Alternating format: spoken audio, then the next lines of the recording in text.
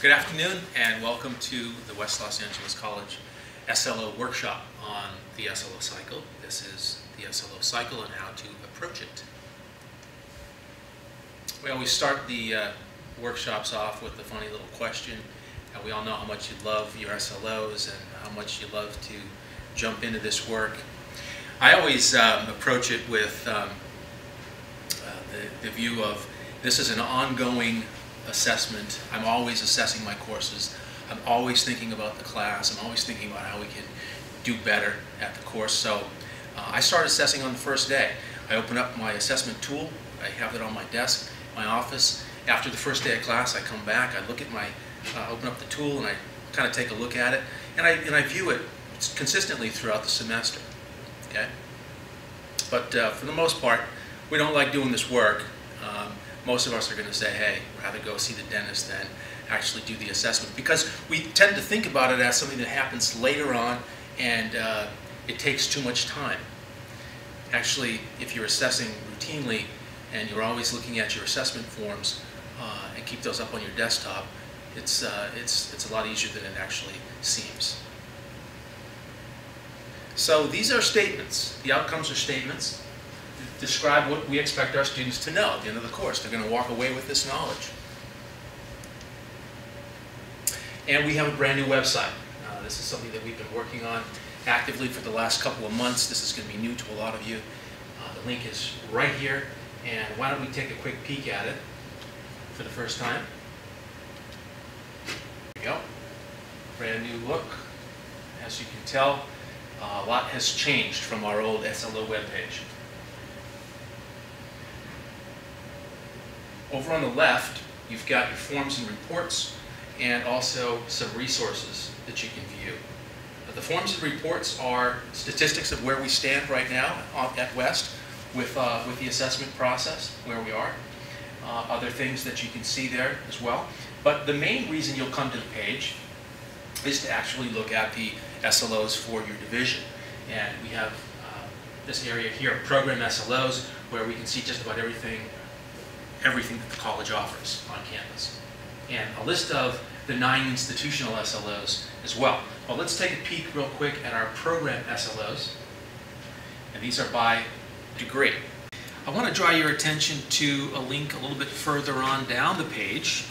As you scroll down to the language arts uh, division, you can then click on the discipline for English. And the example that I wanted to show you is a pretty good example of um, the outcomes. Uh, on the right-hand side, you'll see that this division, uh, this discipline has seven outcomes that have been created.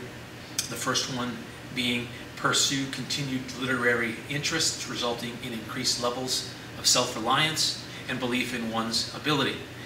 And that's part of the writing effectively theme under self-reliance slash writing.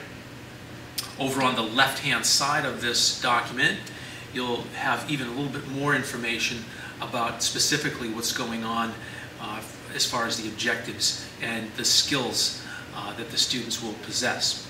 Also, you'll see in the middle of this document the assessment tasks that are directly related to the outcomes that you're looking for.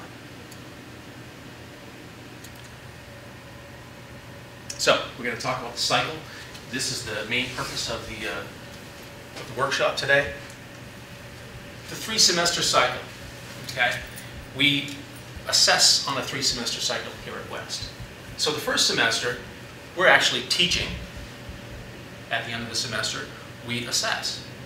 Although we're assessing always, we're always assessing. So on the first day of class, as I said, I usually open up my assessment form, I have it on my desktop, and I, I look at that, and I look at that daily. So I'm always assessing my course. By the end of the semester, my, my, my form is done.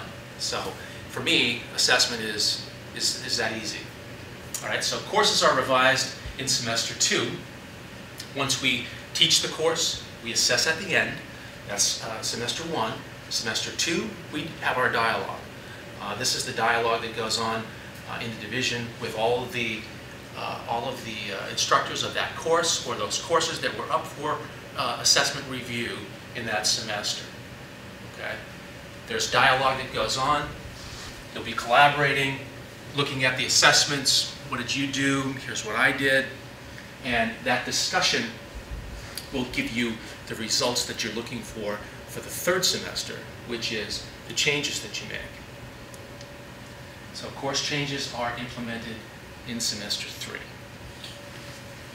Okay, you're looking at uh, a diagram here for uh, the SLO process at West. Cute little CSI uh, diagram. I want to thank Kel Stone who, uh, who, who put this diagram together for us. So this is continuous and sustained improvement, SLO course assessment and revision cycle.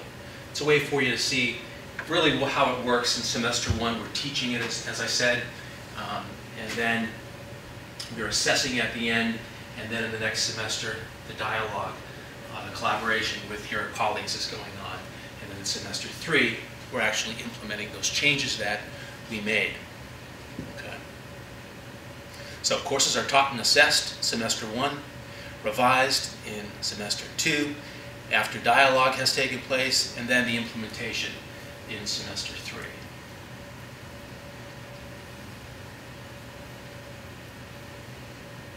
We're going to be using the new uh, Student Learning Outcomes tool, which again on the web page you're able to download.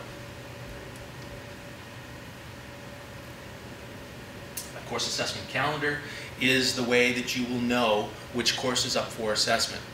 The question happens, comes quite often, uh, are we always assessing after we teach? Every single course we teach, are we assessing directly after? The answer to that is no. There is a course uh, assessment calendar, as I said, that is coming. And once you take a look at the calendar for your division, you'll know when that course comes up. So if you're assessing, let's say, English 101 in the spring, the next semester you'll be, it'll be in phase two, then it'll go to phase three the next semester, and you may not see it again for a year and a half, two years. Uh, there's a cycle within a cycle. So if your division has 10 courses which are offered total, you might have three courses that are in uh, the first semester, they move on to the second, and then the next three come in, the next three come in after that. But all of the courses in the division would be finished within a three to four year cycle.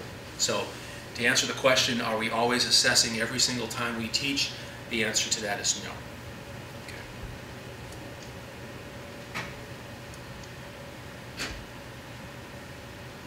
Semester two, again the dialogue. How are we going to modify courses?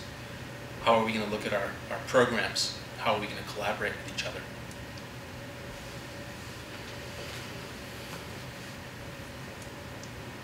Semester three, again, simply the implementation of the changes that we've made.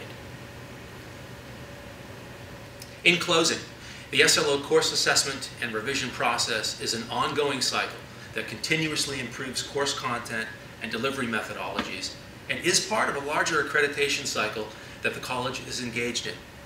This sustained improvement process ensures that course content, delivery mechanisms, and exams yield the most up-to-date information and achieve the greatest degree of student success.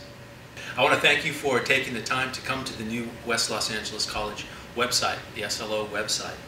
And I also want to uh, take this opportunity to thank the SLO committee members that I've been working with for the last six months here at West, uh, helping out with everything from the diagrams to uh, tracking uh, to the forms uh, and the look of the web page and all the help that went into this. And that is uh, some of my colleagues, Mary Jo Apigo. I also want to thank Kel Stone and Joelle Samilton. Again, this is Todd Motosic, the West Los Angeles College SLO Coordinator. Thank you for coming.